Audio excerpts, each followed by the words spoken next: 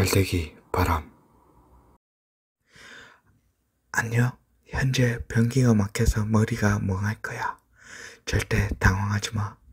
누구나 한 번쯤은 경험했으니까.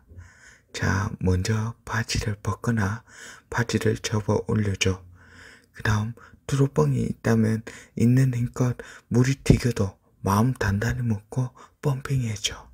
그래도 안 된다면 베이킹 소다와 식초를 섞어서 물에 부은 다음 30분 정도 잠수 타줘. 변기 뚫는 약품도 괜찮을 수 있어. 그리고 안 된다면 이건 극악적인 방법인데 물을 다 퍼낸 다음 옷걸이를 일자로 만들어서 절실한 마음을 담아 구멍을 후벼 파주는 것도 좋아. 뭐 후벼 파는 시간은 어, 너가 알아서 하면 될 것 같아. 그래도 안 된다면 변기 업체나 지인들을 부르는 게